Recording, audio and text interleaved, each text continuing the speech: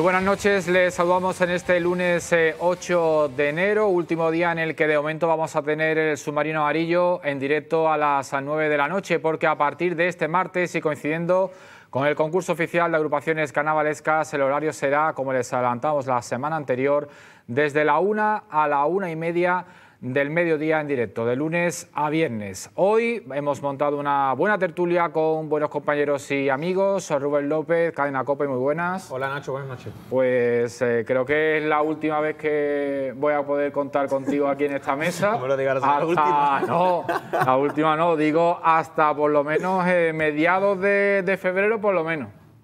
Sí, ¿no? Nos vamos al falla. Sí, sí, bueno, es que empieza, tú sabes, empieza el concurso y hay que compaginar un poquito las cosas, pero bueno, eh, todo sea por una buena causa y que el Cádiz eh, gane partido, empiece a ganar partido, que es lo importante, lo verdaderamente importante, que reaccione y que el equipo espabile y que lo del domingo ante el Valencia, pues sea la resurrección del equipo, que es lo que todos queremos, porque mm, bueno, la situación no es buena ahora mismo, no es nada buena y bueno, yo creo que la, la, la sensación es que para el domingo hay algo más que tres puntos en juego. También nos acompaña Pablo Vallejo, Radio Marca. Muy buenas, Pablo. Hola, Nacho, ¿qué tal? ¿Cómo estás? Gracias, como siempre, por acompañarnos. En tu caso no, no hay teatro, ¿no? Bueno, pero sabes que en esta profesión hay que estar preparado porque te vienen los retos de forma inesperada, Nacho. Así que estamos de momento con las pilas recargadas, pero sin ninguna obligación carnavalesca de momento. ¿Cómo ves la situación actual de, del equipo antes de entrar en debate? Pues bueno, creo que lo de Granada fue, fue como, como un cate, ¿no? Que te meten en el recreo, que, que espabilan, ¿no?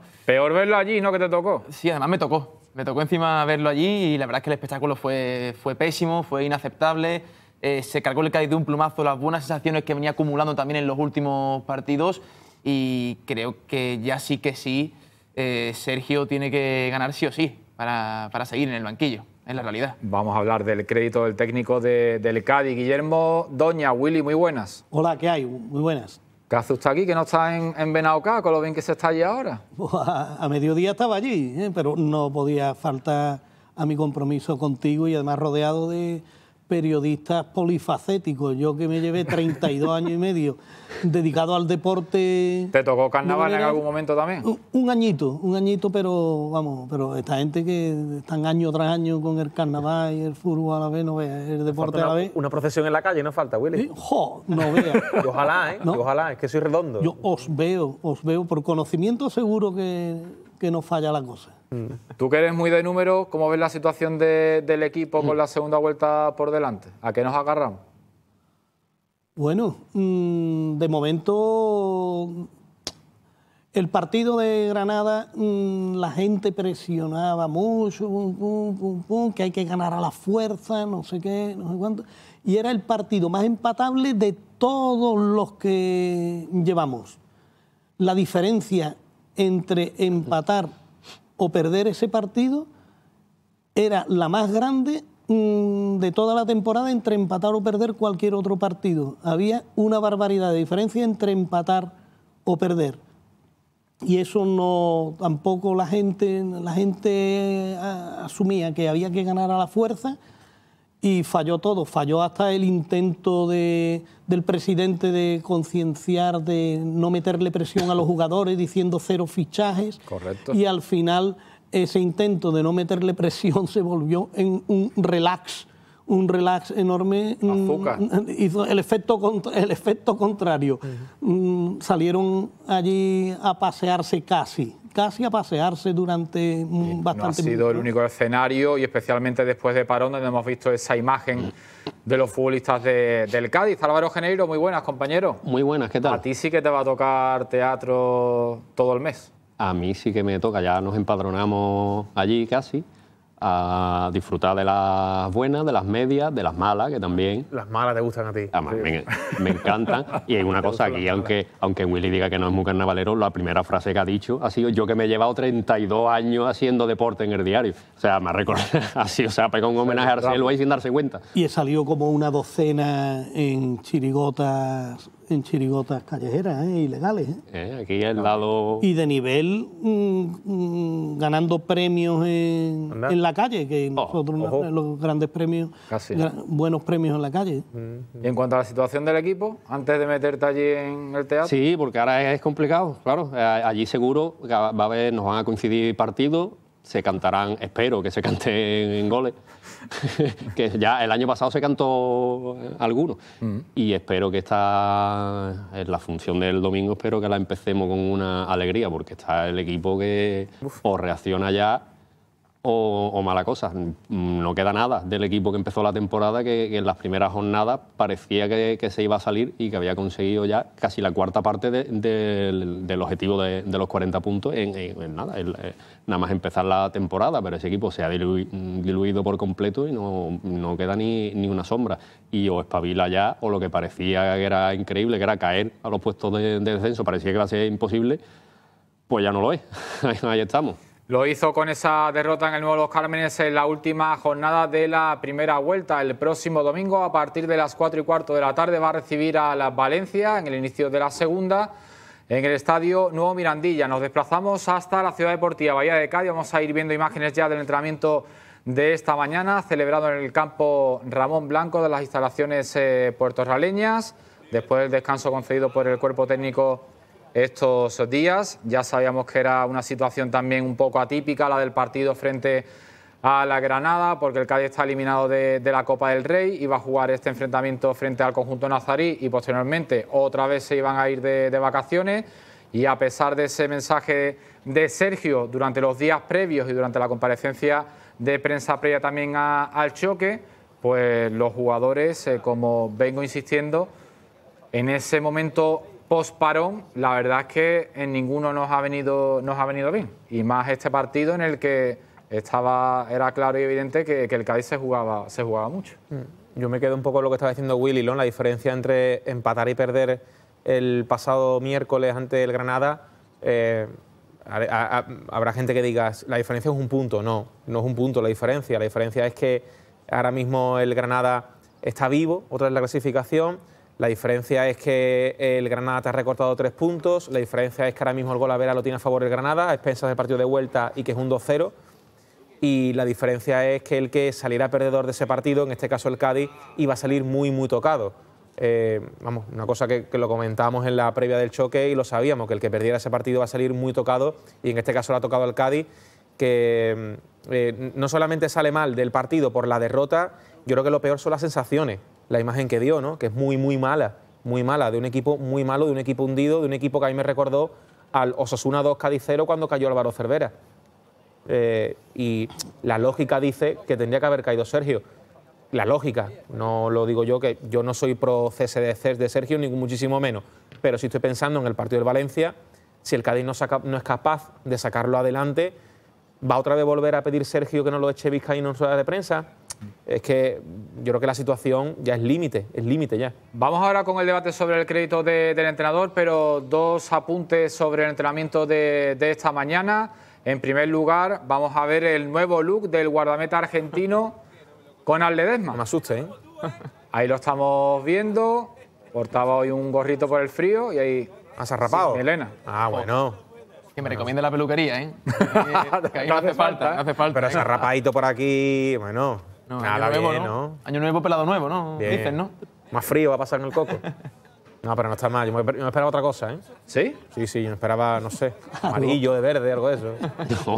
No, no está Ya, mal, chaval. ya vimos en pretemporada cómo hubo un clan que sí que Sí, el, se puso amarillo. el rubio amarillo pollo, ¿no? Rubio pollo. Roger, Escalante, Ocampo hubo- también. Ocampo, unos cuantos. Está bien. Bueno, ese es el nuevo look de Conan Jeremías Ledesma y el único futbolista que no ha entrenado en el eh, día de hoy, además de Roger, que ya saben que ha sido intervenido y que estará eh, varios meses de, baja, varios bastantes. Veremos a ver cuándo puede Sergio recuperar nuevamente al delantero de, de Torrent. Es Brian Ocampo. Vemos la imagen en el momento en el que Sergio se despide tras dialogar con el futbolista uruguayo. Y en este sentido, indicar eh, en el partido frente al Granada, lo dije el otro día en el programa, recibí una barbaridad de WhatsApps preguntando por la situación del futbolista uruguayo, que por qué no participaba más, que qué pasaba con él. Pues lo que pasa es que viene una lesión grave en la rodilla y que todavía le falta para estar. De hecho, se le lleva con mucho cuidado, se está teniendo mucha precaución y en el momento en el que nota lo más mínimo, pues como es el día de hoy, pues seguramente por precaución ha tenido un trabajo de recuperación al margen y seguramente el miércoles ya está disponible nuevamente junto al resto de sus compañeros. Es que en estas cosas hay que ser muy, muy, muy prudente.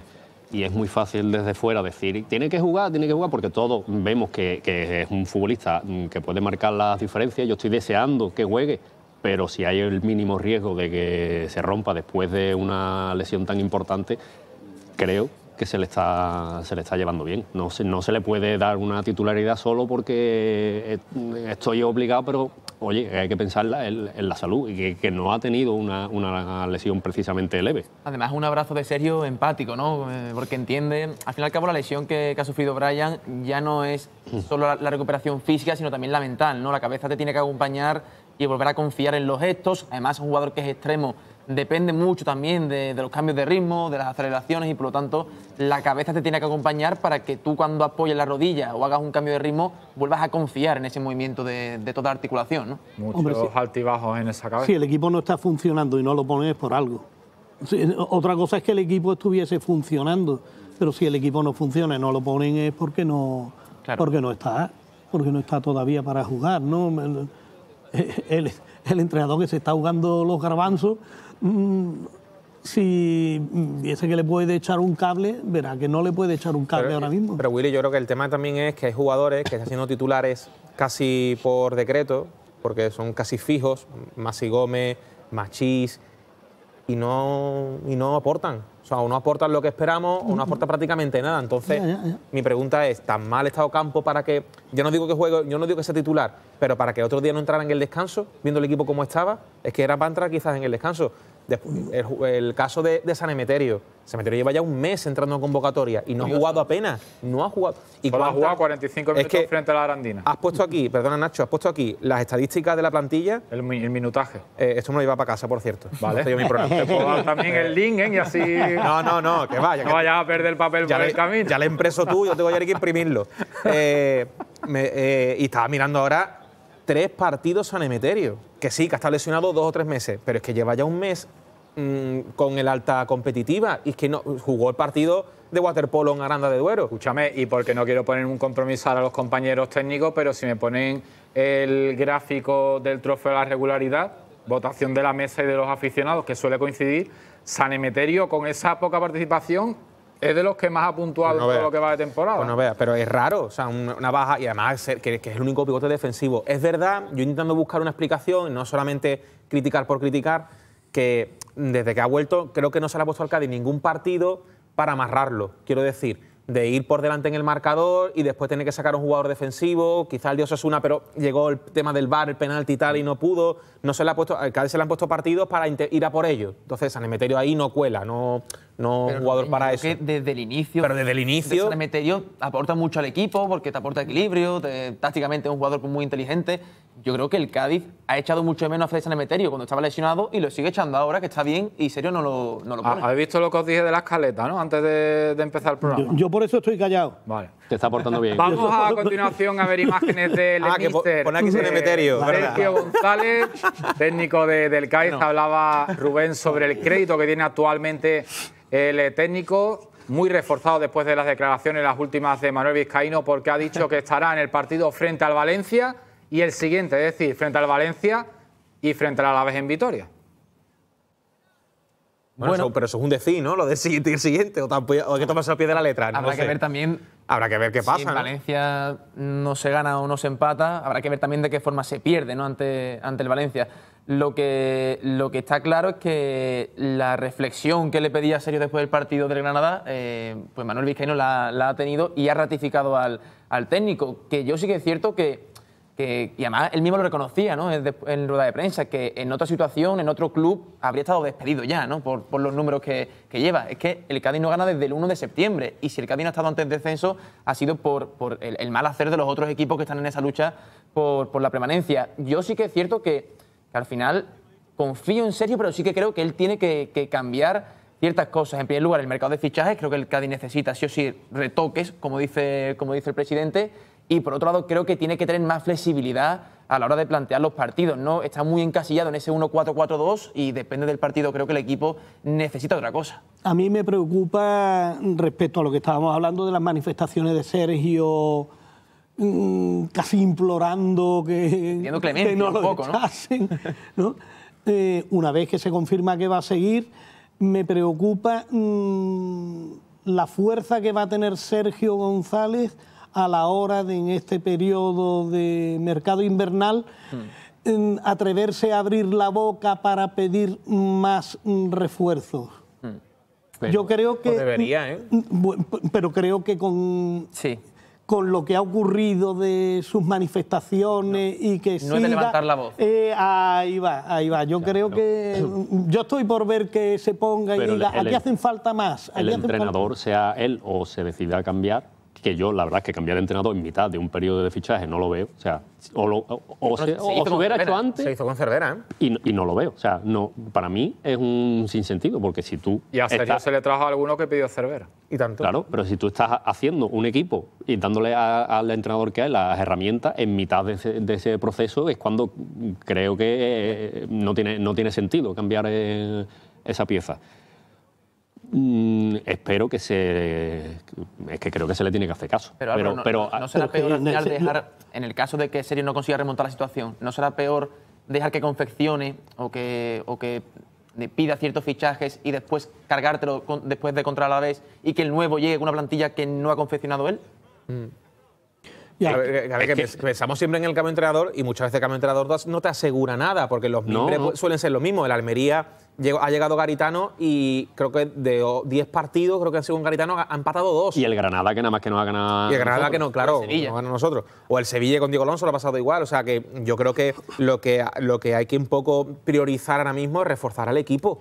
Es reforzarlo, porque yo creo que el Cádiz, fíjate, fijaros que en los, los últimos mercados invernales han sido muy buenos. Sí, y el equipo ha dado un plus, ha dado un impulso. Pero es que yo creo. Por más que, perdón Álvaro, que me digan sí o, o que digan entrenador, pero los que están aquí son los que tienen que sacarte las castañas del fuego. Sí, pero el año pasado llegó, en el mercado invernal, llegó Cris Ramos, llegó Escalante, fundamental en la Escalante segunda vuelta. salvó al equipo. Llegó Guardiola, que marcó goles, Roger no marcó, eh, me falta uno más que no me acuerdo ahora mismo. Eh, Mere. Me- Mere, que jugó. el anterior llegó Luis Hernández y Rubén Alcaraz. Hombre, Pero- por favor. Claro, por pero favor. Es que si, si evaluamos ahora el, el mercado de, de verano, yo creo que es mm, muy oportunista decir que fue malo viendo los resultados, porque yo me recuerdo. La que gente estaba que la- contenta. que la Sobre el papel era el mejor mercado que se había hecho el mejor. Es que El mejor. Sobre el papel. Sol- solo un dato. El primer fichaje fue Machís, que te puede salir bien o mal, pero en- los anteriores mercados habían sido Aroyan y Mavil.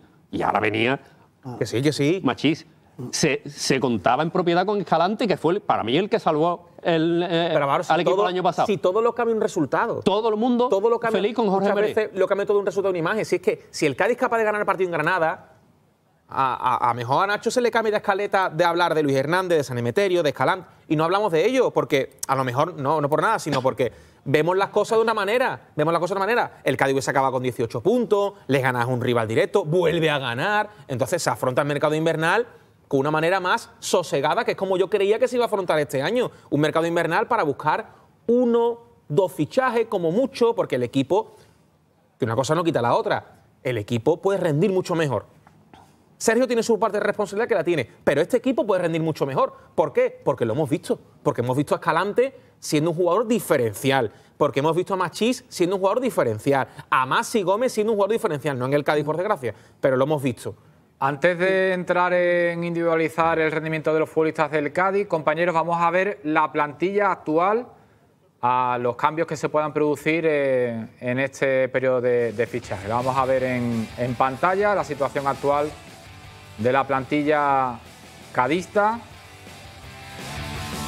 Vemos por demarcación y fíjate que en la derecha solo he dejado a Iván Alejo porque habitualmente es dueño y señor de, de esa demarcación y además es el futbolista más destacado de los cuatro que juegan en ataque con permiso de, de. Pero esta es la situación actual de, de la plantilla. Roger con esa lesión que le va a tener por lo menos tres meses sin, sin competir y ya lo ha dicho el presidente, necesita retoques el equipo, por supuesto, pero para que lleguen futbolistas tienen que salir otros. Especialmente las miradas van al eje central de la defensa, a reforzar el ataque ante la baja de, Roger y ya si nos ponemos, pues seguramente pediríamos a alguien más en el centro del campo y como mínimo en banda. Pero mm, paradojas de, la vida, mm, mm, yo intento verle siempre algo positivo a las cosas malas. Y a la, la derrota del, en Granada mm, tiene un aspecto positivo. Que mm, los refuerzos de la plantilla van a ser más y mejores, creo yo, que si el Cádiz hubiese ganado en Granada. Si el Cádiz hubiese ganado en Granada, a lo mejor hubiese venido uno o dos Pero jugadores. somos resultadistas. ¿Eh? Y, y que somos resultadistas, dice Rubén. Pero el rendimiento de este equipo puede ser mejor, como también dice Rubén. Sí. Comenzamos con la recuperación de un futbolista muy importante para Sergio. En el eje central de la defensa, Luis Hernández, titular frente al Granada. Si Luis consigue rendir al nivel que venía acostumbrando en esta segunda vuelta, pues tenemos un pedazo de central que nos va a dar regularidad junto a Fali y alguien más. Hombre, a mí personalmente, no sé, no sé a vosotros, pero a mí me sorprendió que conociendo cómo suele manejar Sergio la vuelta de lesiones, que Luis Hernández partiera desde el principio en el, nuevo Los Cármenes. Está claro que si alcanza su nivel, eh, la pareja de centrales Fal y Luis Hernández te da unas garantías defensivas brutales, ¿no? Pero sí que es cierto también que eh, el tema de Luis, eh, al final ya no es, no es tan joven, ha tenido problemas de rodilla, que siempre sabemos que- que son lesiones pues que, que, bueno, que te pueden reaparecer en cualquier momento y lo cierto es que sin Luis, Fali ha estado prácticamente eh, viudo ¿no? de pareja de centrales durante toda la primera vuelta, ¿no? porque ni Víctor Chus, que es cierto que tuvo esa expulsión eh, para mí injusta eh, en Balaídos, Momo en Valle, que está en la, en la rampa de salida, Jorge Mere, que está en la rampa de, salida y al final Fali prácticamente se ha visto un poco como el único líder de un eje de la zaga que tiene que ser muy fuerte, muy sólido para, para, para Sergio, ¿no?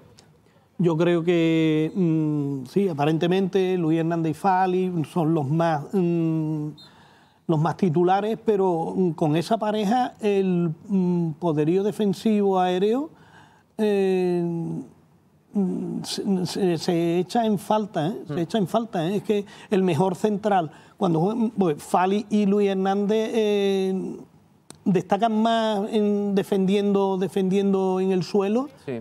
que, eh, que por arriba.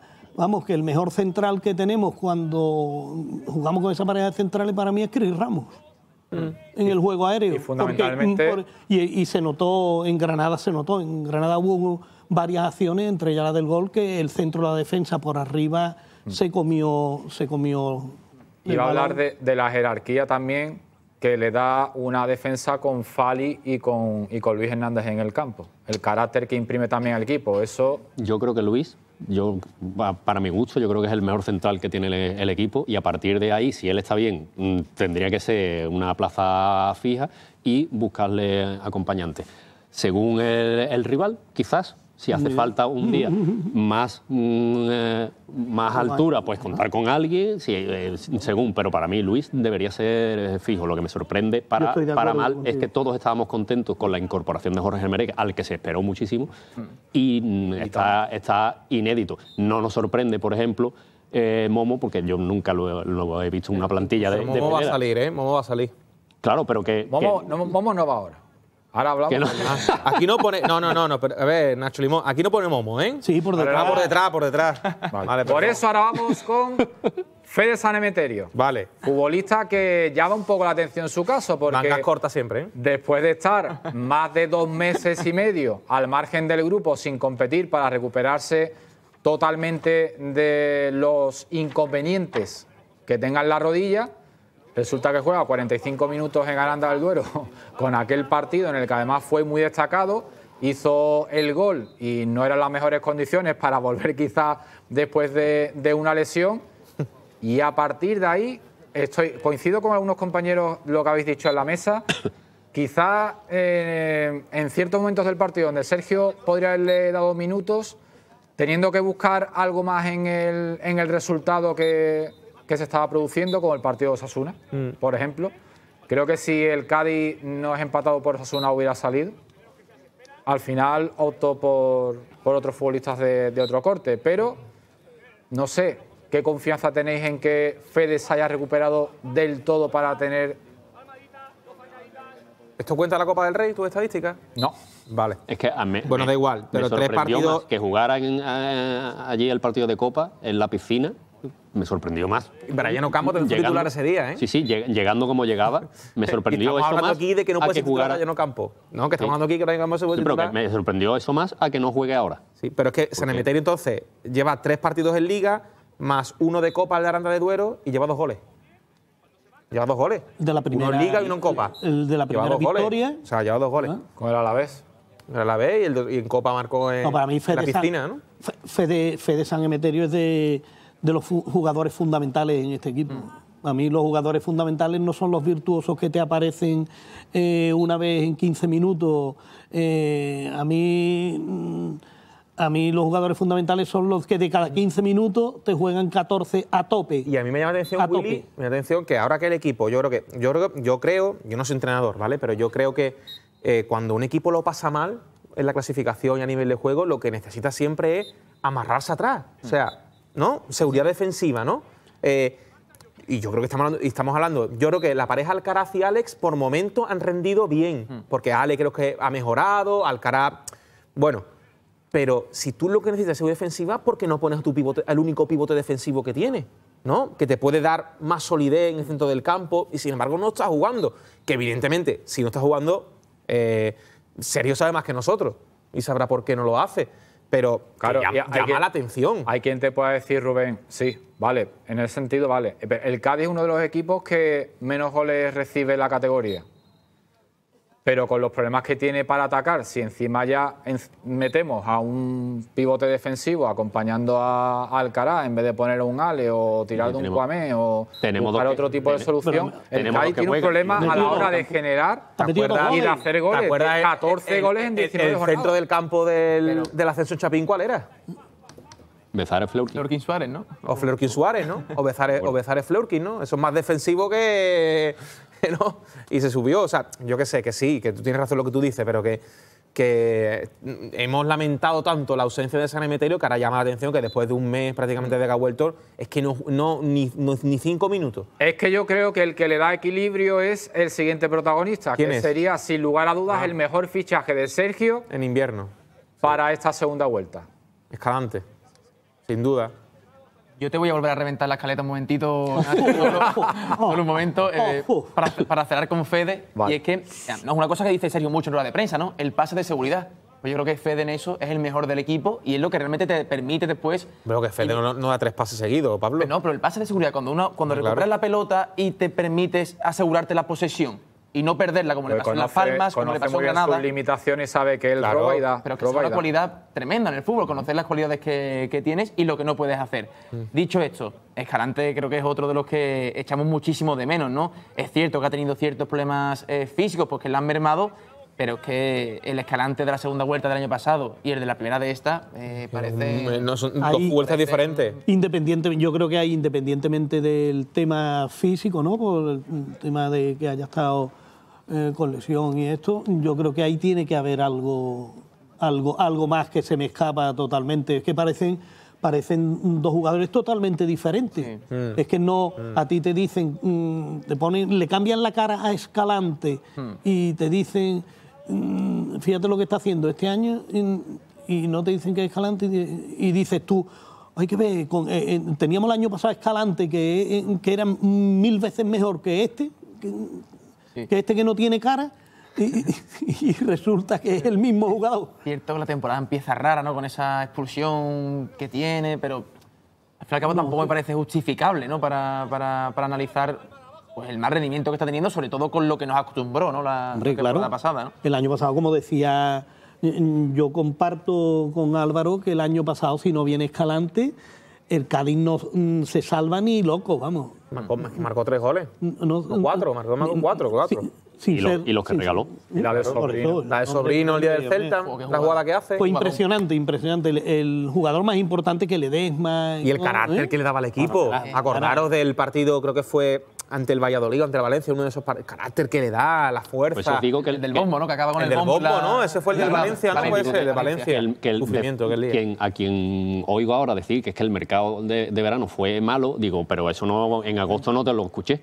Porque Pero eh, eh, ahora, Ahora- eso es muy injusto también. no, es, lo- injusto. es- es injusto valorar el, eh, Pero es que el ya- mercado viendo ahora lo- los resultados. Porque A ver, lo- todos estábamos el- contentos. claro que sí, pero el rendimiento es el que es. Sí, pero que no me puedes decir que el mercado fue malo. Te ha salido No, mal, pero si nadie lo no está diciendo, mismo. el mercado a priori, como ha dicho Nacho, sobre el papel era muy bueno. Era pero el después el rendimiento no ha sido, no ha sido el acorde Yo con lo que recuerdo, todos que lo- creíamos. yo recuerdo que los aficionados, el día que ficharon a Maxi Gómez, Era en, una- la- en las redes sociales la gente Claro. estaba La como caleta, loca, la como caleta loca, Willy, que va más ahora. Ahora nos vamos a publicidad y seguiremos hablando del rendimiento de los jugadores de la plantilla cadista. No se muevan, que está interesante el debate.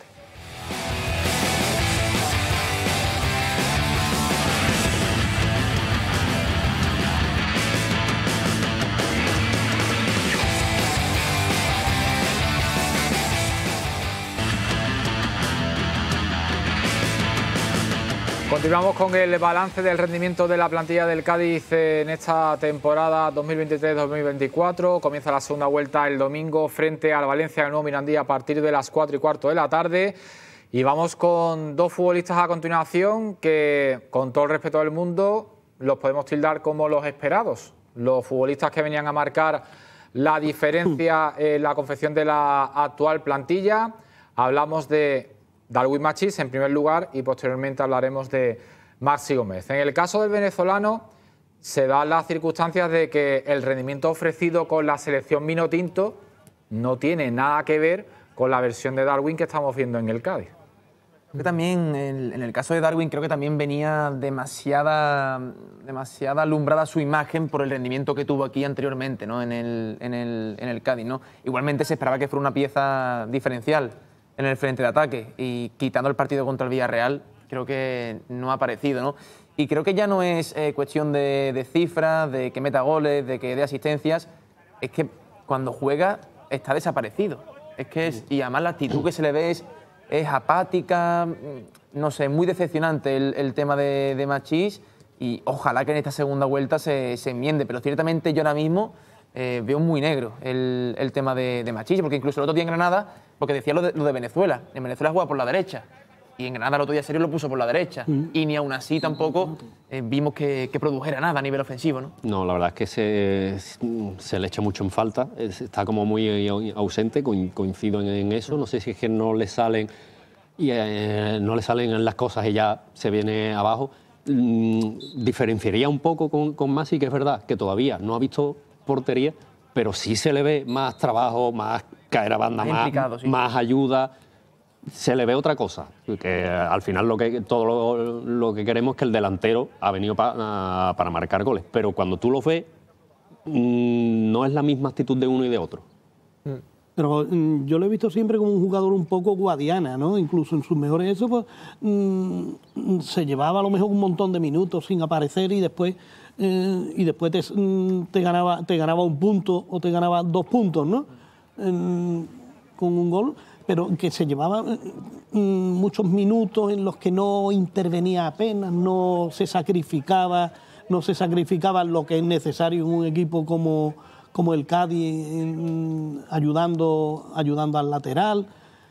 Y mm, creo que eso se ha, acentua- se ha acentuado en lo que es la parte mala y la parte buena. Y la parte buena sea, vamos, la, la parte mala más o menos sigue igual, pero en la parte buena, mm, tú decías que era el futbolista esperado, eh, yo creo que el Sí, futbolista con, de- con él y con el- Masi los futbol- esperados. Yo creo que los dos futbolistas que se espera que, que en algún momento rompan. Este hombre es el del rendimiento inesperado, eh, es una decepción. Era el, era el esperado. Pero era el así- esperado y era el, el desesperante. Aún, aún así, y es verdad, no, no, no os quito ni una coma de todo lo que decís, porque tenéis razón, evidentemente, el rendimiento es el que es, pero aún así lleva tres goles.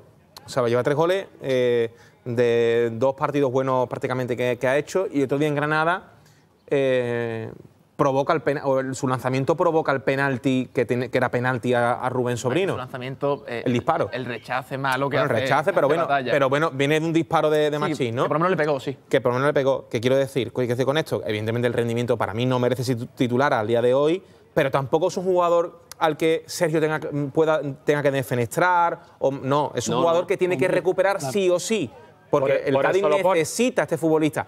A otra cosa, repito, es que merezca ser titular. Yo creo que en Granada había dos jugadores que merecían ser titulares y entraron en el descanso. Pero entraron en el descanso por la situación que estaba el equipo. Calentaban desde el 20. Que eran Robert Navarro y Cuamé. Cuamé está ya pidiendo a gritos ser titular. Y yo creo que ya lo merece, porque es un jugador que tiene calidad. Y Robert Navarro, que es un jugador que había también muchas esperanzas en él, habrá que darle más confianza también a Robert Navarro, creo yo. Bueno, eh, Y viendo el rendimiento de, los, de algunos compañeros, merece ser de. Ah, perdón, no está No, Robert Navarro aquí. es que No está aquí Robert. Navarro. No está aquí Robert Navarro. estaba no. alarmado ya. No, no. Vamos con el siguiente. Maxi Gómez, el delantero uruguayo que sin lugar a dudas, eh, como comentaba anteriormente Willy y Álvaro, no sé, no quiero equivocarme tampoco, cuando el Cádiz anuncia el fichaje de, de Maxi, pues evidentemente creo que es el futbolista que más ha ilusionado al, al cadismo en esa confección de, de la plantilla para, para esta temporada. Yo- Cosa diferente es el rendimiento que, que ha ofrecido. Era una apuesta arriesgada porque su rendimiento eh, venía menos, eh, se había marchado a Turquía, no se había adaptado y era como una gran oportunidad de ver si finalmente el Cádiz era capaz de repescar a un futbolista para la Liga Española que rindirá al nivel que lo hizo en el Celta, más que el del Valencia, pero está muy lejos de, de esa versión. Yo creo que nos venimos arriba en su día, ¿eh? lo digo sinceramente. Yo creo que nos venimos arriba todos con Maxi. Yo el primero creyendo que, ojo, que, le- que Maxi le puede dar cosas al Cádiz. Pero, Pero se vino la afición, la afición también, ¿no? Todos, yo creo que todos nos venimos arriba. Porque la trayectoria de Maxi es realmente, y tú lo sabes mejor que yo, Janeiro, es el Celta. Es el Celta. En el Valencia, ni chicha ni limoná, y viene de Turquía ahora. O sea que yo creo que es un buen jugador que sí, que le puede dar cosas al Cádiz, pero no es un goleador. Y es un jugador que necesita una serie también de cosas a su alrededor, creo yo, para dar un gran rendimiento, que lo puede dar en el Cádiz, yo no lo dudo, no, no lo dudo, bueno, no lo, no lo voy a negar que lo pudiera dar, pero que creo que pusimos demasiadas expectativas o pusimos el listón en Maxi Gómez eh, muy alto. Porque no Yo- tenemos ni idea de fútbol. Tú fíjate que el comentario en verano, el comentario en verano era que iba a ser un titularísimo e indiscutible y que si sobraba algún delantero había que buscarle a Cris Ramos una cesión. Yo, Afortunadamente no tenemos ni idea de fútbol y no, no, no, no yo, sí- a nadie. yo, yo lo veo, tanto el de Machis de antes como Máximo, lo veo como casos muy diferentes. El problema de Machis es que tiene eh, aptitud con P, pero yo noto que le falta actitud con C. Eso es más salvable que lo contrario. Tú lo que no puedes, mm, si tienes actitud con C, pero la actitud con P, eso no se puede, eso no se puede ganar. Eso ya a la edad que tienen esta gente no, no eso. La actitud con C sí se puede, sí se puede conseguir. Entonces más recuperable creo yo, Machis, hacerle ver que se tiene que partir la cara, que tiene que ir a todos los balones, que no se trata de pasearse. Maxi Gómez, mm, yo mm, en eso soy pesimista. Yo, Maxi Gómez, le veo que tiene actitud mm, con C, sobre todo en los últimos partidos lo he visto yo más participativo y eso, pero no le veo que nos pueda dar lo que necesitamos. Ojalá me equivoque, ¿eh? Pues yo, sin embargo, sí que creo que, que Maxi Gómez, en, cuanto se acaba de enchufar la primera, que ya ha tenido alguna, tuvo la, la del Madrid, tuvo aquella famosa de Bilbao también cuando, cuando sale, ha tenido algunas para hacer, para hacer gol, no las ha metido, pero sí que creo que en el momento en el que meta una, eh, va a coger confianza y va a poder aportar al Cádiz lo que, lo que, lo que quiere Sergio. También es cierto que, bueno, que es un jugador que venía a ser llamado a algo que no está cumpliendo, evidentemente, pero que sí está teniendo esa actitud, ¿no? Como, como, como decías, con, con fe. eh, y creo que también esa celebración, por ejemplo, que hace en, en Las Palmas cuando mete, cuando mete Chris, es un jugador que, bueno, que a falta de que te salgan las cosas mal eh, a nivel de fútbol, por lo menos la actitud y el trabajo lo tienen, ¿no? Que es lo mínimo que se le puede pedir a, un- a un futbolista, ¿no? Creo yo. Bueno, pues saben que para que lleguen futbolistas tienen que salir otros. A día de hoy creo que todos coincidimos en que el eje central de la defensa va a ser reforzado. Creo que es una de las prioridades para la dirección deportiva y el, y el cuerpo técnico. Y hay dos jugadores que tienen papeletas para, para salir. Uno es Jorge Meré, que ya saben que viene cedido por el Américas. Eh, un futbolista que durante el verano se tardó una enormidad en cerrar ese acuerdo para que llegara cedido porque era una prioridad viendo el rendimiento que había ofrecido la temporada anterior, el central obetense, pero la realidad es que este año mm, las lesiones no le están ayudando, el hecho de no haber hecho la pretemporada al ritmo de sus compañeros parece que le ha perjudicado muchísimo y ahora está en saber si se va a confiar en él para que continúe cedido aquí o si se va a romper esa cesión, porque recuerden que el CAI también tiene un número máximo de cesiones que actualmente son seis las que, las que tiene ocupadas. Y creo que el máximo era siete, si no recuerdo mal. Es decir, que en caso de que saliera Mere, pues por un, por un lado ganaría una ficha para, para fichar, nunca mejor dicho, y por otro lado, pues se desaguaría un poquito en ese límite de, de, cesiones. Eh, el caso de Mere es cuanto menos curioso, extraño. Eh, es un jugador que la temporada pasada, cuando jugaba, cumplía. Era un jugador con, eh, con garantías en el eje de la zaga. Y este año es que, bueno, recuerdo que en Marbella incluso no estaba fichado, pero entraba con el, con el, equipo. Y este año incluso, cuando ha habido problemas en el eje de la zaga, el propio Momo desde la visión de serio le ha pasado por delante. Y creo que eso ya dice mucho de, de lo que ha ofrecido Mer esta temporada. Mm. Como, como, tú dices, se le esperó. Eh, fue curioso que todos los veranos se espera el último fichaje, el delantero centro, y para nosotros fue eh, esperar un central que todo el mundo quería que estuviera aquí, porque había rendido muy bien. Pero es un poco como Escalante. Vinieron, nos salvaron y ahí desaparecieron. Re, eh, recuerdo los seis futbolistas que están cedidos aquí, que son Meré, Lucas Piré, Javier Hernández, Machís, Maxi Gómez y Robert Navarro. Yo creo que el principal problema que tiene Meré es, mm, es un poco lento. ¿eh? Es un poco lento. Y mm, en Momo yo creo que ha, lo, ha, sido utilizado más precisamente por el juego aéreo, que es el fuerte de Momo y la debilidad, de, la debilidad principal de, lo, de, los demás, de los demás centrales que, que, tenemos. Y creo que eso ha sido lo que, lo que le ha llevado a, a utilizar, a utilizar más a Momo en Valle que, que, a otros, que a otros jugadores. Mm, a mí de los centrales además es que me preocupa que la mayoría la, el tema de la velocidad no lo tienen tampoco porque Fali es lento. Sí. ¿eh? Fali es lento, Fali en carrera, en carrera se lo, se lo llevan con facilidad, porque para... no es su. Ahí va, como juguemos con para jugar y esto, ahí va, para claro, ahí va. Luis tampoco es, tampoco es veloz. ¿entiendes?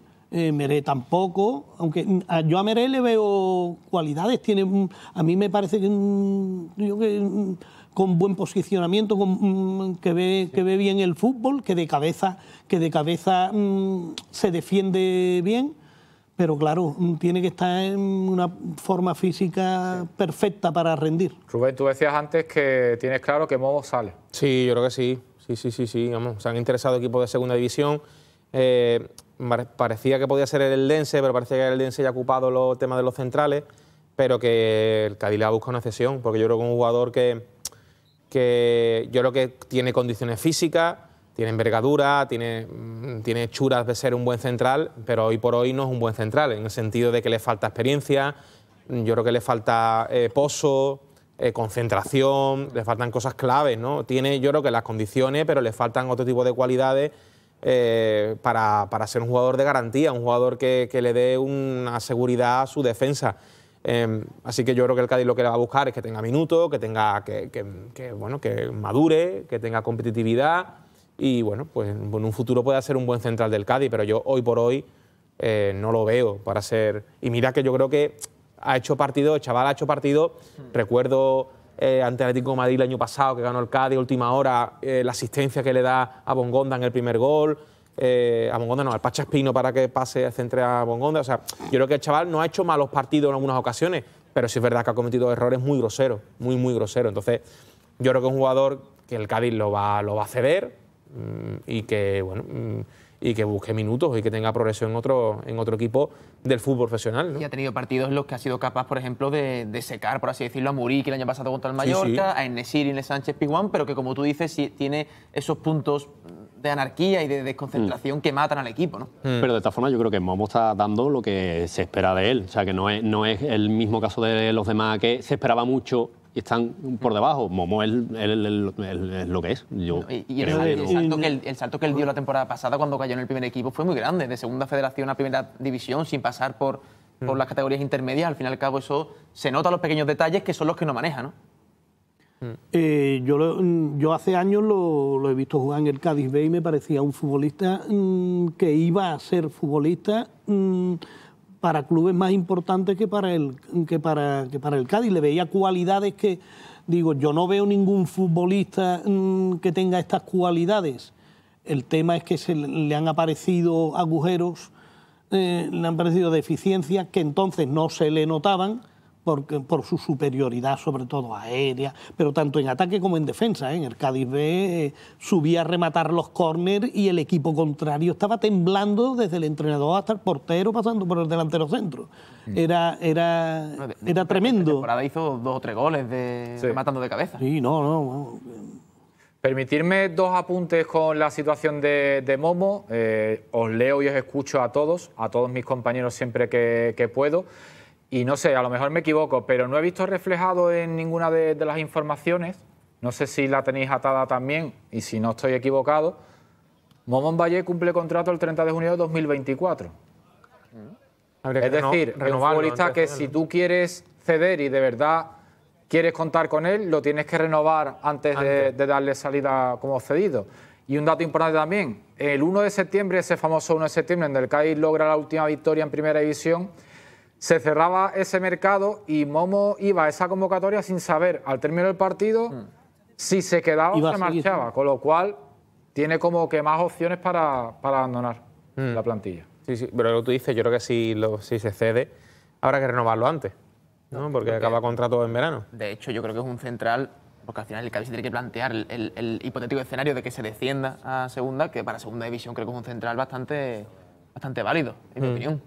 Como, como estemos pensando en que vamos a segunda, va No, pero bueno, al final un club tiene que plantearse todas las, las opciones de cara al futuro, ¿no?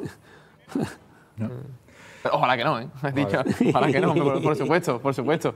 En esta plantilla están teniendo muy poco protagonismo con minutos oh, dos futbolistas que en su momento han sido de los más destacados. Sobre todo en este crecimiento que ha tenido el eh, club eh, en los últimos años, consolidado en Primera División por cuarta temporada consecutiva. Hablamos en primer lugar del centrocampista roteño José Mari, que si miramos las cifras de minutos que lleva esta temporada, pues ha jugado un total de tres minutos, No, 14. No, 14, 14. Tres partidos. tres, perdón, eh, tres partidos y un total de 14 minutos en esos tres partidos en Liga, ¿eh? exceptuando lo que ha jugado en, en Copa del Rey. Es mínimo. Mínimo. Es mínimo. Muy pobre, muy pobre. Es que eso lo dice todo. Eso lo dice todo. Estando mal todos los demás, pues han seguido jugando todos. Hombre, yo creo que, que aportará un millón de cosas en, en el vestuario, en banquillo, pero eh, no está en.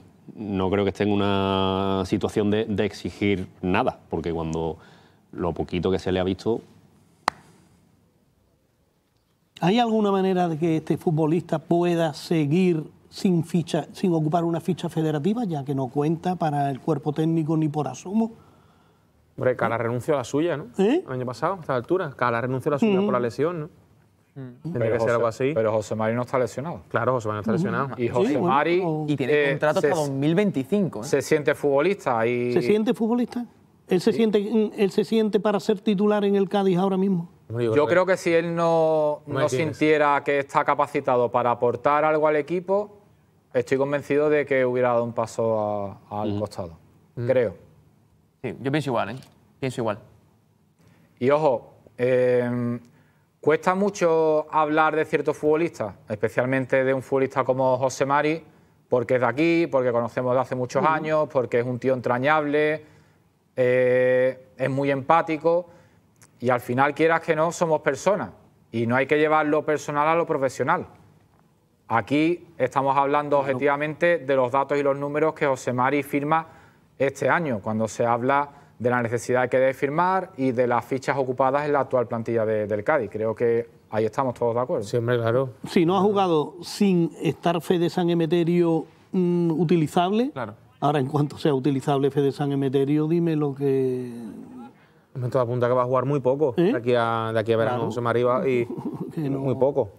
Mm, Entonces Yo, la situación no es buena para, vamos, no es que... Sí, sí, vamos, yo- pero yo creo- que, yo creo que él, entendía, él entendía cuál podía ser su rol este año. Quizá él seguramente Pero- hubiese esperado jugar más de lo que ha jugado, pero que yo creo que él aceptaba cuál era su rol esta temporada. Yo creo que el entrenador, aunque no lo diga, él piensa para sí mismo que él tiene cubiertas 23 fichas federativas, no 25. Lo dijo, ¿Eh? lo, Sí. lo dijo el Así- presidente. así lo demuestra- Claro, más o los- menos, los minutos es que que le sostienen. hasta el mismo El presidente, el, el rol se lo reconocía ¿no? que el- esas renovaciones eran cosas suyas. Claro. Contrato hasta 2025. José Mari 2025, sí. Negredo 24, pero José Mari 25. Es que el Cádiz, mm, el Cádiz tiene para una liga que son 38 partidos las mismas fichas mm, reales, digamos, reales, ¿eh? Las mismas fichas reales que tiene una selección para ganar el Mundial, que son 7 partidos, 23. Con el mayor respeto del mundo también hablamos de un futbolista que lo ha sido todo en el mundo del fútbol, Álvaro Negredo, y que ha sido importantísimo en el camino del Cádiz hasta estar actualmente en la situación que, que está. Y además aquí yo creo que hasta que Álvaro no diga se acabó, Álvaro va a seguir siendo futbolista del Cádiz. Eso creo que es algo que en su momento me negoció directamente de manera personal con el presidente de la entidad, Manuel Vizcaíno. Y estoy convencido de que si Manuel Vizcaíno no hubiera convencido a Álvaro, no hubiera vestido la camiseta del Cádiz. Pero si- sin, sin Negredo y José María, el Cádiz no estaría donde está. O sea, y eso es indiscutible. Otra cosa es que veamos que uno en la liga este año lleva 14 minutos y el otro 50. Entonces, es que no, no es una cosa, no es una opinión nuestra, no estamos opinando si tienen que jugar o no, estamos diciendo algo que son hechos. 14 minutos y 50 minutos es no contar para el entrenador. Pero yo te, yo te digo una cosa, y en el caso de Negredo, eh, yo creo que ha merecido jugar más. Yo pienso Sí. igual ahí. Yo creo que ha merecido jugar Sí. más viendo el rendimiento de sus compañeros, excepto Chris Ramos y Roger, excepto Chris Ramos y Roger, que también yo creo que estaba cuando la pena es que se ha lesionado en su mejor momento. Eh, Negredo no merece, no merecía ser el quinto delantero. No, porque a- además cada vez que ha entrado y ha tocado la pelota, No lo se merecía. ve, se Claro. ve que para, Viendo el rendimiento Hombre, de es- Gómez, es el mejor que tenemos. viendo lo que te ha dado Maxi Gómez, y no tengo cosas duda. siempre. No viendo lo que te ha dado duda. Gómez, yo hubiese metido su cuarto de hora, 20 minutos fina a Negredo. Sí, sí, no, coincido. Pero claro. que O sea, el- es que nada más que. Igual que hay digo que una dar- cosa. Hay que darle solo una pelota para, para ver que es al, totalmente. igual que digo, distinto a- igual que digo una cosa, y como no está en la escaleta, lo puedo decir. Sergi Guardiola, Sergi Guardiola. Yo creo que ya Sergi, Sergi Guardiola, viendo el rendimiento de Maxi Gómez, merece ya ser titular con Cris Ramos. ¿Por qué no? Sí, pero el tema es yo creo que es porque no termina de estar. Pero porque viene también de una lesión de Pubi. Yo creo que. Pero es que si así Sergio- pasa la temporada, Nacho, pero es que ha sido y- las circunstancias que han tenido verdad. algunos jugadores de la plantilla este año. Pero ya lleva un mes igual. con alta, Lo que, está Guardiola. claro, lo que está claro es que después de haber hablado de muchos jugadores, casi todos tienen en común los problemas físicos. También quizás es uno de los grandes problemas del Cádiz este año. Pero Pablo, el otro día fue Luis Hernández titular. Y en el partido, en, la- en, la- en el, eh, los 100 metros, eh, los dos largos de Aranda de Duero, los dos largos, eh, con, con gorro de natación, por titular. Eh, Brian, eh, Ocampo y Brian Fede. Ocampo y Fede San Emeterio. Y José pero Mari. eso, Y José eso- Mari. O sea, es que a ver. Eso, eh, la forma física del equipo, la recuperación de los lesionados es un problema que ya tuvimos mu- durante Claro, el año pasado. ahí donde voy. Los segundos tiempos son un desastre, que la diferencia de rendimiento Es que en, volvi- en perdona, los primeros volvimos- y de resultados y los volvimos segundos de, tiempos volvimos igual. de un parón y teníamos más lesionados que cuando, que Claro, es que, llegamos. es, es que los resultados de los segundos tiempos son horrorosos en comparación con los de los primeros. de- en eso hemos hablado muchas veces. Pero ¿eh? Pero es, yo- que, es, es que es tremendo el, el problema de la el. Cádiz solo Eh, ha metido un gol después del 60, el Chris Ramos Las Palmas. Como Digo- he hablado de Negredo, a para mí que Negredo ha sido de los mejores delanteros que ha tenido el Cádiz mm, en el siglo, por lo menos. ¿eh? Eh, Negredo tenía que haber sido más veces internacional de lo que lo ha sido. ¿sabes? Pero Negredo no tiene el ritmo necesario para jugar en la primera división española hoy en día. Nosotros no podemos tener eh, un delantero para que juegue 10 minutos cada cinco partidos. ¿eh? Y yo he sido un admirador de Negredo. Pero cuando el cuerpo dice basta para determinado mm, tema, como es el ritmo al que se juega en la primera división española, por mucha calidad que tenga, por mucha calidad que tenga, tu rendimiento no puede ser el que, el que hace falta. Y vosotros tenéis calidad para muchas más horas de tertulia, pero nos hemos quedado sin tiempo. Hilado. Pablo, Rubén, Willy, Álvaro, muchísimas gracias a los cuatro por habernos acompañado. Que os vaya bien en el falla a los que vais al teatro. Feliz carnaval. Willy, a ti te rescato en alguna que otra ocasión, ¿eh? en las próximas semanas, aunque te tengas que venir de allá arriba. ¿eh? Que se venga, que traiga Hombre, yo. hoy, hoy, he, hoy he venido de, de la sierra acá. para estar contigo. Este fin ¿eh? de semana, nieve. Uf, yo, Espectacular. ¿eh? fenomenal. Yo disfruté, disfruté en Navidades con el cañón de nieve de para los niños, me puse allí y no veas, o sea, con la nieve de verdad te mandaré, te mandaré una foto buena ahí Ahí. debajo. Muchas gracias. Y en el día de hoy, ya para despedirnos, eh, nuestros recuerdos para un gran aficionado y seguidor de, de este programa y de otros muchos contenidos cadistas, Manuel Rodríguez Zanillo, que nos dejaba el pasado 1 de enero.